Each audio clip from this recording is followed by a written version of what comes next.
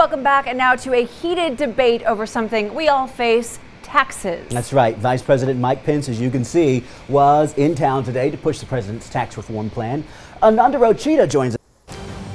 Now, we want to turn now to a live picture of Mather Airport, where Vice President Mike Pence will soon arrive to begin his visit to Sacramento today. The Vice President has been in California doing some fundraising. He began his day in Bakersfield. And here in Sacramento, Pence will talk tax reform with local business and community leaders. He has another fundraiser scheduled for tonight at the Hyatt Regency Hotel. If the Vice President arrives during this newscast, we will, of course, make sure to show it to you live. You see that live picture right there as we await him. Now, President Trump wants some.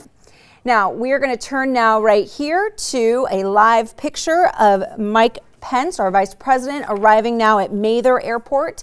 As you see here, he is arriving here for an evening of events here in Sacramento. He's been in California all day. He began his day in Bakersfield.